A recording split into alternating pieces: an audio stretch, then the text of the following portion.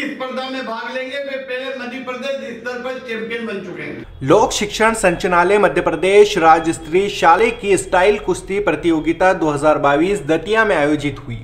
इस कुश्ती आयोजन में ग्वालटोली, नीमच निवासी गगन पिता बाबूलाल ग्वाला ने 38 किलोग्राम में मध्य प्रदेश के सभी पहलवानों को पछाड़ते हुए मध्य प्रदेश गोल्ड मेडलिस्ट बन राष्ट्रीय स्तर पर चयनित होने का गौरव हासिल किया।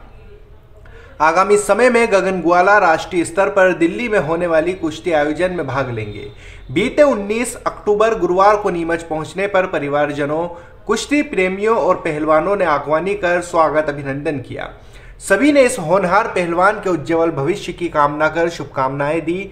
इस अवसर पर वार्ड पार्षद हरगोविंद दीवान, पार्षद भरत सिंह अहीर, पार्षद प्रतिनिधि अक्षय दीवान, विमल पहलवान अशोक सुराह, भीम भगत दीपक मेहरा भेरूलाल चौहान, बाबूलाल रियार, रवि कुमिया, मनीष पवार, कुंदन पहलवान, हरिलाल दियारियार, वीरेंद्र सुराह, गोपाल ग्वाला, सरवन सुराह, उमेश रियार, करण दीवान, मुकेश प्रजापति, अर्जुन रियार, तुषार दीवान, सुभाष पहलवान, ऋतिक दीवान, राहुल दीवान सहित उसी प्रेमी मौजूद रहे।